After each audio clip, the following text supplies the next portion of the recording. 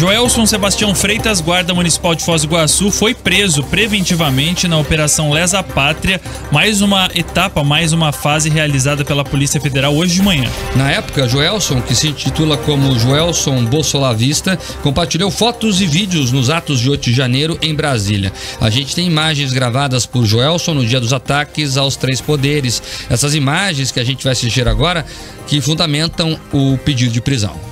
Olá pessoal, Joelson Bolsolavista, estou aqui transmitindo de frente ao quartel do Exército em Brasília. Às 14 horas estaremos descendo lá para a Praça dos Três Poderes. Eu quero documentar tudo ao vivo, só que no Facebook não está dando. Portanto, clique no link aí, se inscreva no canal do YouTube. Eu estarei transmitindo pelo YouTube. Para acompanhar as notícias, se inscrevam lá.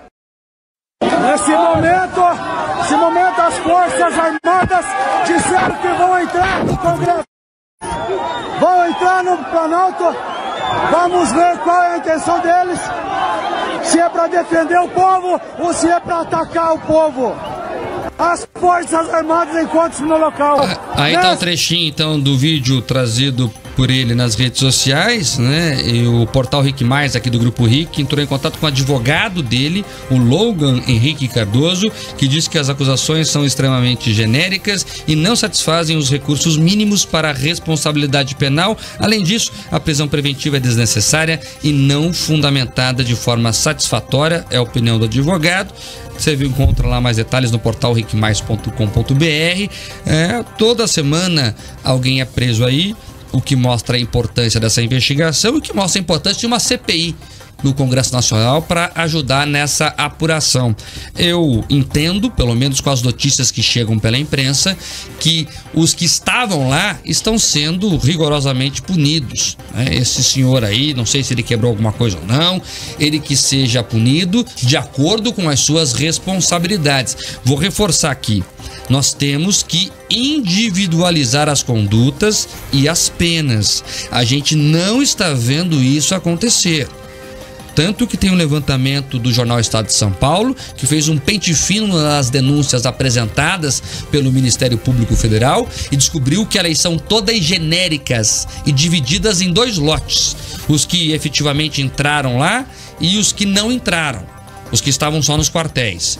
Então, assim você não pune ninguém porque você não sabe o que cada um fez. Você tem que saber, por exemplo, que o Joelson Sebastião de Freitas roubou algo ou não, depredou algo ou não, xingou alguma autoridade ou não, não sei, eu tenho que saber o que ele fez e punir pelo que ele fez. Não dá para falar, ah, tava no meio, eu vou prender. Isso não é justiça. Isso é perseguição. Então nós temos que separar as coisas, né? Todo mundo sabe aqui que a Jovem Pan defende punição rigorosa a quem se excedeu lá em Brasília, mas as pessoas têm que ser punidas pelo que elas fizeram, não porque alguém acha que elas têm que ser punidas. E é estranha essa história. Aí você vê lá, é, prisões, escola, tem que ser jurídicas. Alguém tem que cometer um crime para ser preso. É isso que se espera em uma sociedade é, moderna, em um Estado democrático de direito. Agora eu vejo lá, alguém foi preso, certo? Daí, no dia da mulher, solta um monte de gente. Mas para lá. Juridicamente, como é que é essa coisa? Como é que você justifica algo? Eu vou soltar porque é dia da mulher? Não dá para acreditar nisso. Pelo menos não há justificativa jurídica de por que no dia da mulher, né, que é uma data simbólica, alguém foi solto por causa disso. Então tá estranha essa história.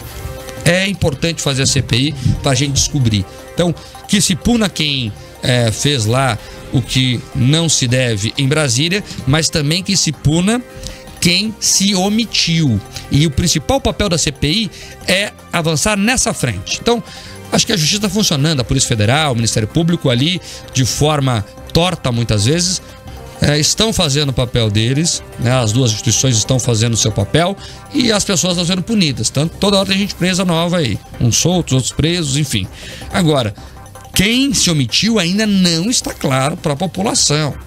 Nós temos lá o Ibanês Rocha, que foi afastado do cargo em Brasília, Acho que tá para voltar, não sei se voltou, escola. Até bom confirmar essa informação. Voltou hoje, né? Eu acho, inclusive. Então, Ibanez Rocha foi afastado, voltou. Daí tem o Anderson Torres, que era o secretário de Segurança de Brasília, que foi afastado, tá preso.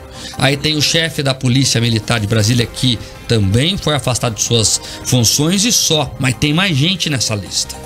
Ninguém explicou ainda ao país o porquê que a ABIN, que é uma agência do governo, emitiu comunicados a 48 setores do governo federal e esses comunicados não foram ouvidos. Por que, que alguém que é avisado, olha, vão invadir aí, não aperta o cadeado? Parece que foi é, abrir o cadeado porque mesmo diante do aviso, a Segurança Palácio Planalto dispensou dispensou o reforço policial no domingo. A CPI tem que responder essa pergunta. Se essa pergunta for respondida, já tá bom.